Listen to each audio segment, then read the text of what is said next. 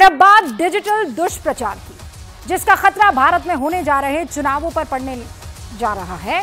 ऐसी आशंकाएँ हैं। डिजिटल दुष्प्रचार से पार्टियों और नेताओं की छवि बिगाड़ी जा सकती है।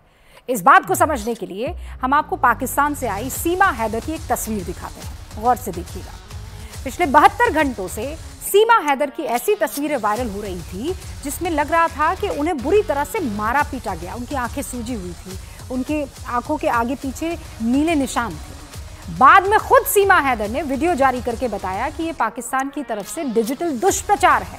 वो तो भारत में बहुत खुश हैं, सुखी हैं। डिजिटल दुष्प्रचार या डीप फेक के इसी खतरे को देखते हुए सरकार ने मिस इन्फॉर्मेशन से भरे 25 lakh video social media platform से हटा दिए हैं।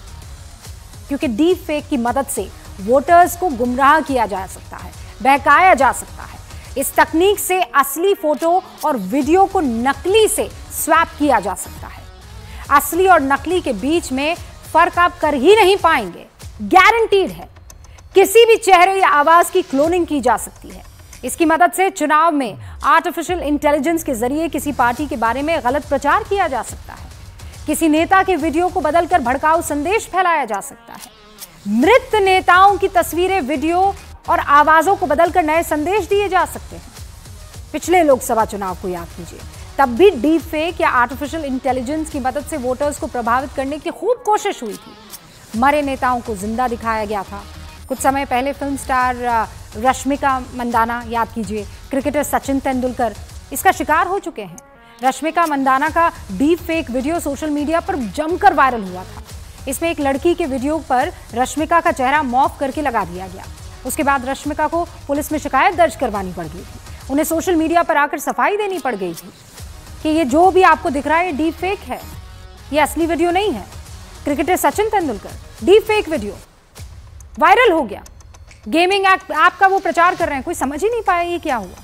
लेकिन जाँच में पता चला कि एक कंपनी ने सचिन की आवाज़ क्लोन करके नकली वीडियो तैयार कर दिया था। और इसीलिए हमें सावधान रहने की ज़रूरत है।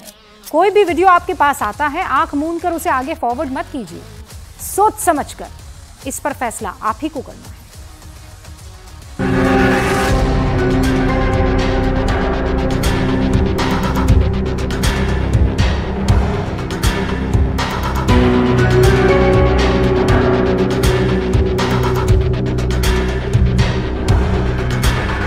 क्या सीमा हैदर के साथ घरेलू हिंसा हुई थी?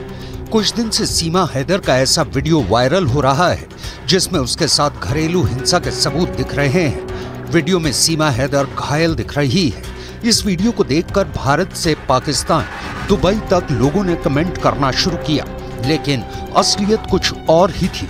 ये सीमा हैदर का नकली वीडियो था, जिसे डीप फेक तकनीक से बनाया गया था। देश नहीं, झुकने देंगे।